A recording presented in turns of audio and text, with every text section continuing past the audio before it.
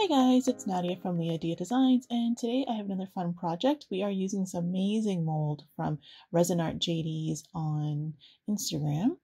And uh, what I want to do is make this look like carnival glass. So kind of an oil slick, rainbowy, um, really just eye-catching piece. And we're going to be using some mica flakes and mica pigments to, um, to do that today. So what we're going to be doing is just dry brushing this right into the mold. And uh, so this technique is called burnishing. So we're going to be just using small circles to kind of just make sure we're really getting that pigment right into all the little details of this mold. So I recently saw some carnival glass on Pinterest and I was just and so in awe of how beautiful the colors and the rainbows are. And we can get a similar effect with these chameleon um, or these color shifting type of pigments. So these particular ones I'm using are from Shop Resin Molds.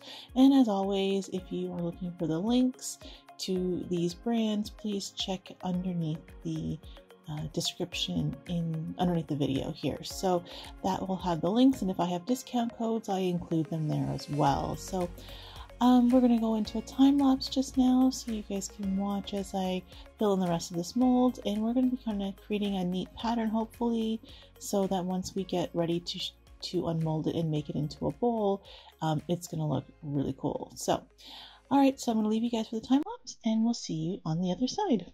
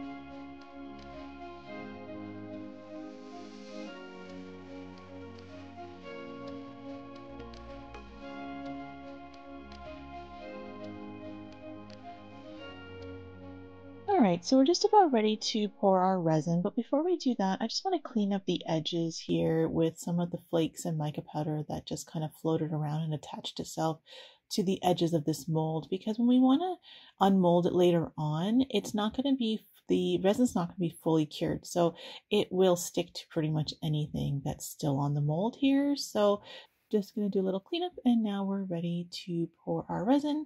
I mixed a purple color for our resin. You could use black or really any other color. You want to choose a color that's on the darker side. That's really going to help um, emphasize these uh, color shifting pigments um, once they're once this piece is cured. So I went with a dark purple, but again, you could use black or any other color that you like.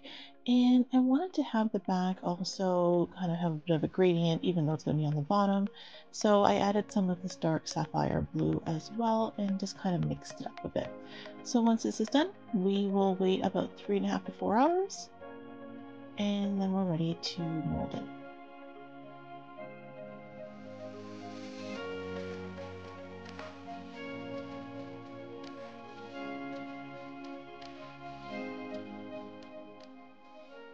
Okay, so it's been about three and a half hours. I came in to check to see how it's doing and it's ready to come out of the mold.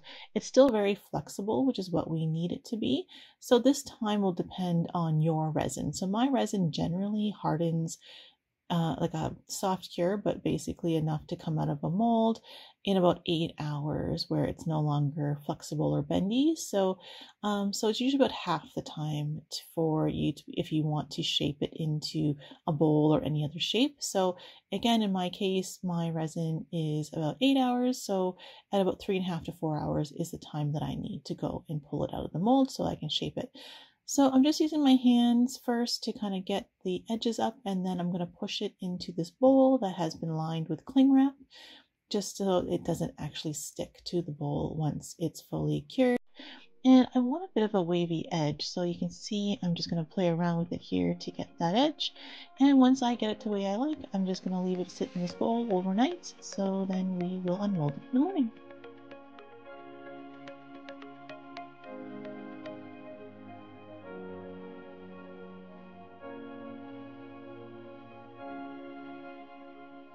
So it's the next day and we are ready to unmold it. As you can see, I use some popsicle sticks to kind of help help hold some of the waves that were being a bit finicky.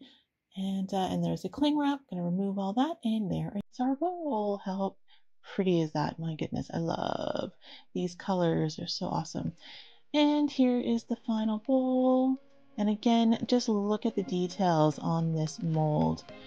It is uh, it's incredible. I think she actually uh, took this mold from a crystal platter, so it really actually does have that glass look and it's perfect for little candies or anything else you want to put in. So if you like this video, please don't forget to leave me a comment and like and subscribe and I'll see you next time. Thanks guys. Bye.